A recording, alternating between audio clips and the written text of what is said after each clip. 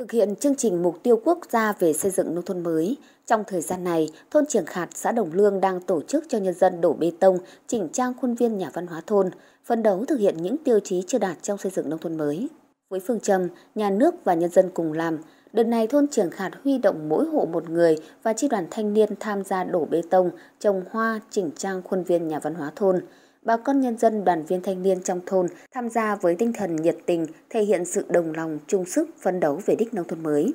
Được biết, triển khai thực hiện chương trình mục tiêu quốc gia xây dựng nông thôn mới, thôn Trường Khạt đã thực hiện theo phương châm dân biết, dân bàn, dân làm, dân kiểm tra. Vì thế khi ban thôn triển khai thực hiện bất kỳ phần việc nào trong các tiêu chí chưa đạt của địa phương đều được người dân đồng tình ủng hộ.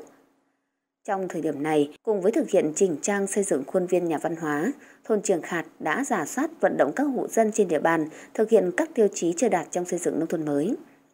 Trong cái ờ, chương trình ờ, thực hiện các cái tiêu chí về đích nông thôn mới thì đối với thôn Khạt thì là còn ờ, thiếu 4 tiêu chí, nhất là cái khuôn viên vườn hộ. Nhưng mà thôn Khạt tập trung chỉ đạo trước hết là làm cái khuôn viên vườn hộ khu vực nhà văn hóa với cái phương châm và nhà nước và nhân dân cùng làm với cái tinh thần kêu gọi bà con ở đây người ta ủng hộ. Tinh thần rất chi là cao và hôm nay là huy động nhân dân là ra quân để hoàn thiện cái khuôn viên khu nhà văn hóa để tạo cái điểm điểm nhấn để cho bà con ở đây người ta thấy được cái tinh thần mà uh, thôn bản đang chỉ đạo cho bà con ở đây là uh, hoàn thiện các cái tiêu chí để mà tạo ra cái động lực cho bà con nhìn nhận được là về đích nông thôn mới là nó như thế nào. Rồi sau đó là chúng tôi sẽ triển khai rộng rãi đến uh,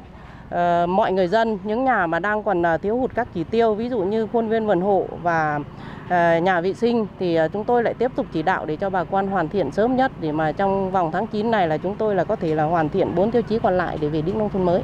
Để phấn đấu hoàn thành các tiêu chí trong xây dựng nông thôn mới, địa phương đã thực hiện tiêu chí dễ trước, khó sau, trong đó chú trọng thực hiện tiêu chí môi trường, tiếp tục đẩy mạnh công tác tuyên truyền, thực hiện quy ước bảo vệ môi trường nông thôn, vận động nhân dân thực hiện nếp sống văn minh, xây dựng gia đình văn hóa, khuyến khích phát triển sản xuất, chăn nuôi gắn với bảo vệ môi trường, phát động các phong trào thi đua chỉnh trang đường làng ngõ xóm, khuôn viên gia đình và xây dựng các công trình vệ sinh kiên cố, tổ chức huy động nhân dân ra quân dọn vệ sinh tại khu vực công cộng theo từng khu dân cư, ít nhất một tháng một lần, đồng thời tuyên truyền nhân dân giữ vững các tiêu chí đã đạt trong xây dựng nông thôn mới, nhất là tiêu chí thu nhập, giảm nghèo.